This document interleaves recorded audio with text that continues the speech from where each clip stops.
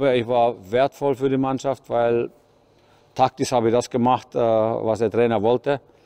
Und äh, ja, vielleicht zu viel überlegt, vielleicht so zu viel als Trainer gedacht, sogar als Spieler. Meine Mannschaft muss vorbereitet sein für das Spiel und die brauchen keinen Hampelmann äh, hinter der Bande, der da Zirkus macht, weil die müssen für ihre Aufgabe konzentrieren. Es ist mein Job zu vermitteln, wie ich äh, in diesem Spiel spielen will.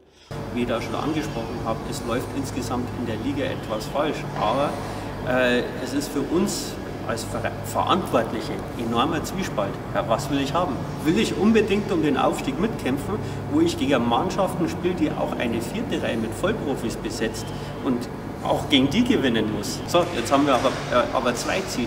Zum einen Ziel, ja, ich will aufsteigen, zum anderen Ziel, ja, äh, ich will den Nachwuchs ausbilden und integrieren. Und das ist ein enorm, enorm schwieriger und schmaler Grad. Also